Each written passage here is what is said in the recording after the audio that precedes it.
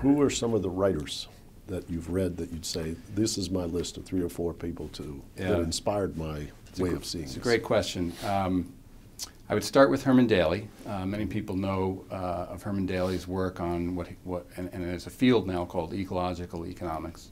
Um, I'd say that's probably the most important piece. He was um, uh, the, he followed in the footsteps of uh, Kenneth Boulding and uh, Georgescu Roegen.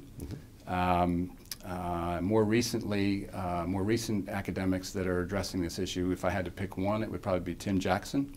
Uh, Tim did the work for the UK government on, um, uh, on uh, uh, prosperity without growth.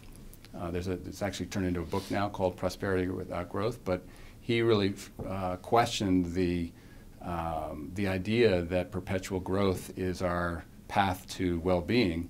And, um, and initially, I think it was not well received by the UK government, but ultimately, uh, it was very well received. And, um, and then the financial crisis hit, and new priorities came in. So uh, I'm not sure quite where that stands now.